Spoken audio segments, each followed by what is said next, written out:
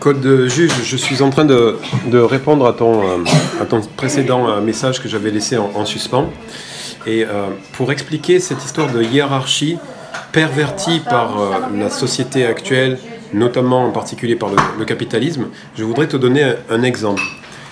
Dans les sociétés fourmilières, il y a des fourmis qui ont différentes morphologies pour différentes fonctions. Il y a, les il y a la reine, d'accord, qui a, qui a sa morphologie propre et qui est, qui la seule à avoir cette morphologie-là, et qui est là pour euh, pondre et euh, créer une colonie. euh, donc elle occupe cette fonction de, de, nous, en langage humain on appelle ça reine, mais voilà, de, de productrice de, de la colonie. Ensuite, il y a les travailleurs, il y a euh, les nurses, comme on appelle ça, celles qui s'occupent des, larves, etc. Il y a les soldats, etc. Donc chacun a sa morphologie. Les soldats vont être plus, gros, avec euh, des mandibules plus fortes, plus importantes, etc. Les travailleuses plus petites, mais plus résistantes, etc. etc. Et il n'y a pas, par exemple, du point de vue de, la fourmi soldat, un, une, euh, comment on appelle ça un sens de la hiérarchie dans la perversion de sens de supériorité que ce soit la reine ou que ce soit la, fourmi euh, travailleuse, elles ne, pas, ne se sentent pas supérieures aux nurses et aux... Euh, on dit en français? Et aux, travailleuses? Non, elles, ont leur fonction. Euh, la, fourmi soldat a sa fonction de soldate, qui est de protéger la colonie, ok? Mais elle sait qu'elle dépend aussi de la soldat, du, pardon, de la fourmi travailleuse, de la fourmi nurse, euh, évidemment de la, comment de la reine, etc. Enfin, ce qu'on appelle la reine, etc.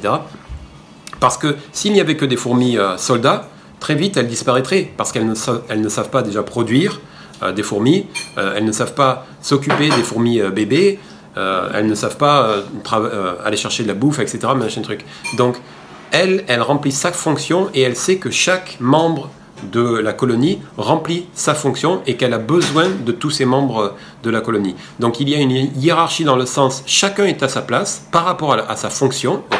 bon, dans le règne animal, euh, voilà, c'est par rapport à une morphologie, etc. Euh, qu'on correspond à, une fonction. Dans, chez les humains, c'est par rapport à un intérêt, c'est par rapport à un talent, c'est par rapport à une vocation, d'accord, qu'on trouve, euh, qu'on doit trouver dans la société idéale sa fonction. mais voilà, euh, donc chacun est dans sa fonction hiérarchique, mais pas hiérarchique au sens perverti par les humains de supérieur, inférieur, euh, dominé, dominant. C'est pas ça. Chacun est à sa place dans la société et euh, toutes les places sont nécessaires aux autres membres de la société parce que voilà, on a besoin de, de, spécification, enfin de, de spécialisation ici et là pour faire une fonction, une société qui fonctionne.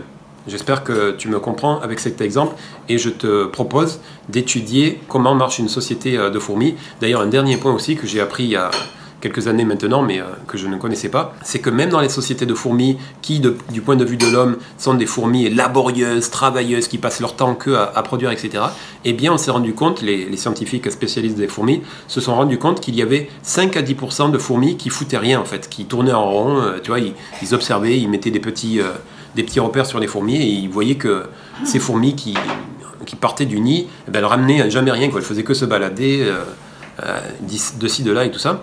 Et ceci, en fait, pour dire que même dans les sociétés qui apparaissent aux, yeux des humains comme des sociétés de, de labeur euh, où le plaisir n'existe pas et c'est vraiment la survie, répondre comme ça aux ordres de la reine, aux, nécessités de, la colonie, eh bien, il y a quand même malgré tout 5 à 10%, euh, je crois que c'était ça les, ordres de grandeur, de, feignants qui foutent rien et qui vivent, entre guillemets, aux dépens de la colonie. Mais c'est euh, accepté par, par la colonie. Elles ne sont pas là, euh, les, les, les, les fourmis soldats ne sont pas là à aller tuer celles qui branlent rien ou alors taper sur le cul pour qu'elles qu'elles foutent quelque chose, voilà, c'est toléré parce qu'elles savent que ça ne va pas, euh, comment dire, handicaper ou euh, mettre en péril la, colonie. Voilà. Euh, renseigne-toi sur les, fourmis en particulier, mais même sur le, monde animal. Moi, quand j'étais gosse, je regardais beaucoup de, documentaires animaliers et aussi de documentaires sur les, tribus en Amazonie ou dans les steppes, etc., ce genre de choses. Et je pense que ça, nous donne un nouvel éclairage sur la compréhension de la nature humaine et des différents fonctionnements que l'on peut avoir euh, nous, occidentaux, on voit le monde à travers de ce que l'on connaît, le monde occidental, la culture occidentale, l'éducation occidentale, les valeurs occidentales, etc. Mais il y a euh, plus de diversité que ça, et ça nous ouvre sur ah, on peut faire autrement. Après, c'est je ne suis pas en train de dire que les tribus c'est mieux ou que si ou que ça. Je suis simplement en train de dire qu'il y a différentes organisations sociales possibles. Voilà ce que je voulais dire. Fais-moi tes commentaires si tu veux.